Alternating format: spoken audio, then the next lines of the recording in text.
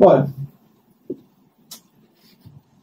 é, esses são conceitos que é importante que os senhores entendam, para que entenda essa, essa minha visão pessoal. Muitas pessoas que investem em Bitcoin, muitas pessoas que investem na nuvem, elas não têm essa mesma visão. Tem muita gente de esquerda que compra Bitcoin, mas tem, de tal, Cripa, que organizou aí o, o, o, o Bitcoin. Tem um monte de esquerdistas nesse mundo também. Essa é a minha visão pessoal do tema, essa é a minha visão pessoal do mundo. A minha visão pessoal do mundo é que o marxismo cultural, essa ideia do educacionismo, de achar que você vai melhorar intelectualmente, que você vai ganhar produtividade na faculdade, que é uma mentira. A maioria das pessoas perde QI, a maioria das pessoas perde produtividade, passando os melhores cinco anos da vida ouvindo propaganda ideológica e merda, em faculdade que ensina, não posso dizer o que os caras ensinam, instituição religiosa, né, isso respeito.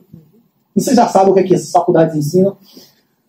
A estratégia Core Piving é uma estratégia desenvolvida pela esquerda da década de 50, 60. Vocês estudaram muito aqui, Escola de Frankfurt, né? Isso, Habermas, tal, estudou, pessoal? A Escola de Frankfurt originalmente chamava Escola de Estudos Marxistas. Já comprovado que a União Soviética patrocinou esses caras para infiltrar as universidades e, através da universidade, desenvolver educacionismo na, na, na sociedade. E a estratégia dessa sociedade para destruir o nosso mundo é a estratégia Cloud Piving. A estratégia Cloud Piving é fazer sempre o Estado aumentar os seus gastos até o seu colapso.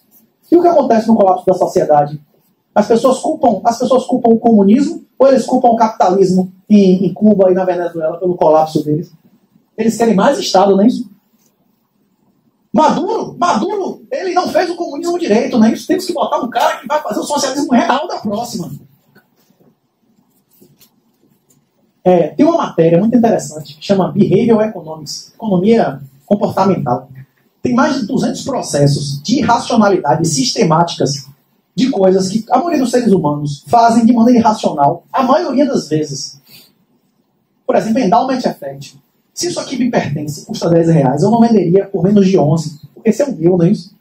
Você trocaria a sua roupa por uma roupa igual da rua? Não, que a minha é minha. Isso, por exemplo, é um exemplo de, de, de, de racionalidade sistemática. Um outro exemplo de racionalidade sistemática é o Dunning-Kruger, Quanto menos você entende do assunto, mais você acha que entende. Aí o cara que nunca leu três minutos sobre Bitcoin é pirâmide, é pirâmide, é bolha. O cara não sabe nada sobre o assunto, ele acha que o assunto não existe e tudo que existe ele já sabe, né? Isso, isso funciona com tudo. No direito, quando você está no segundo, terceiro semestre, você acha que você está 50%. Quando você sai do doutorado, você acha que você está no 10%, não é isso?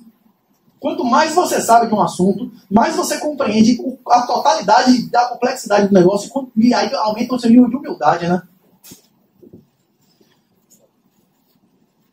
Outros conceitos aqui importantes para os senhores entenderem. Juro negativo. O juro negativo é uma consequência do quantitative easing, do, dos processos de, de estímulo dos, dos governos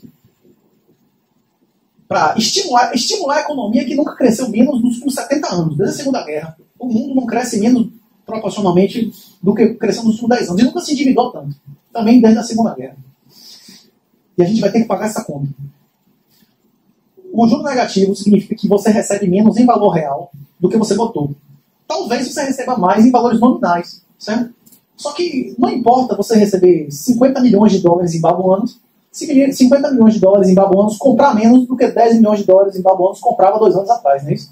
É exatamente isso que é a Bolsa de Valores, é exatamente isso que é a renda fixa, é exatamente isso que é previdência privada, é exatamente isso que é qualquer produto financeiro no mercado oficial, que eu chamo de legacy system.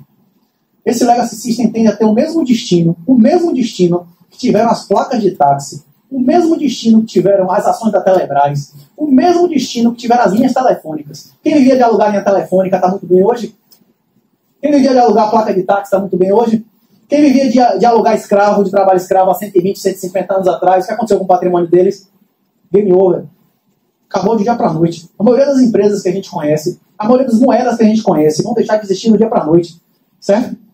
Quando eu tinha 18 anos, a moeda mais segura do mundo era o marco alemão. Se eu tiver em minha casa agora 50 milhões de marcos alemães, isso vale quantos reais? Certo?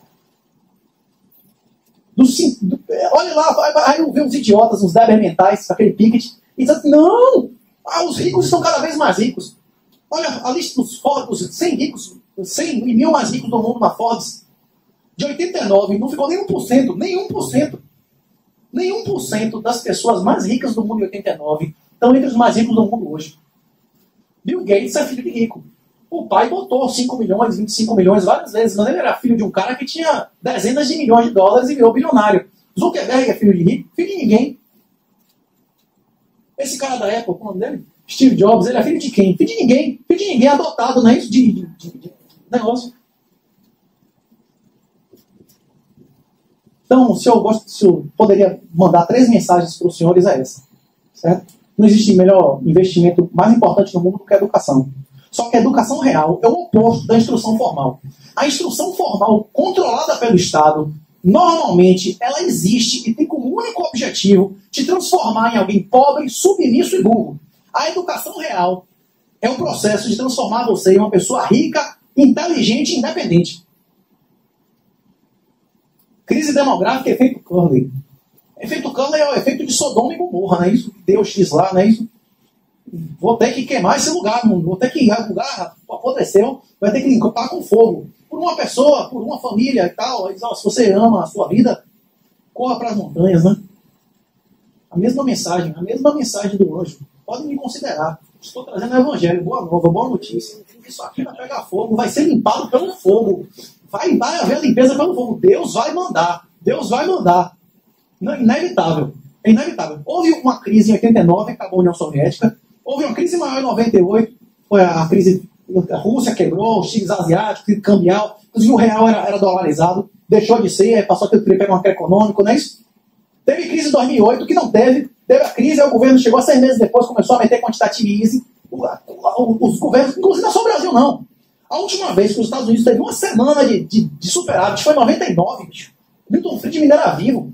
Milton Friedman, inclusive, dizia que o superávit nos Estados Unidos só acontece em uma situação extraordinária. Que é presidente republicano, Senado republicano e, e, e Casa Baixa democrata. Porque aí você não consegue aprovar lei. Você, o negócio, é, como é que chama? Trava, né?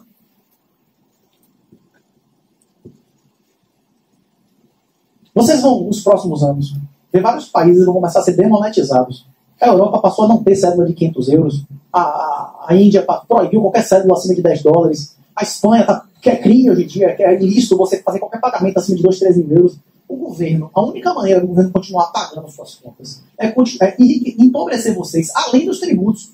Porque eles precisam de mais dinheiro do que, do que mesmo que eles tributassem vocês 50%, 60%. E eles só conseguem isso desvalorizando o dinheiro que vocês têm e desvalorizando o patrimônio que vocês têm. Como é que o governo consegue fazer isso? Através do juro negativo. E o juro negativo só consegue ser implantado com o totalismo financeiro, que é conhecido como guerra ao dinheiro. Se vocês puderem pesquisar isso, é um tema muito interessante também. Você vai abrir para. Lá no final. No final. É. Pra gente bater papo meia hora. Próximo. Volte aí, volte aí.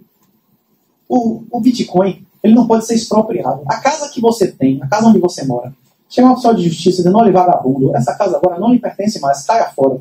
Você vai matar o oficial de justiça, vai meter tiro nele? Você pode até matar, dar uma descarregada e tal, é, matar o oficial de justiça e tal. Mas depois vem a polícia, vai vir o exército, COI, vai, vai vir até que vão bombardear, você vai morrer uma hora, não é isso?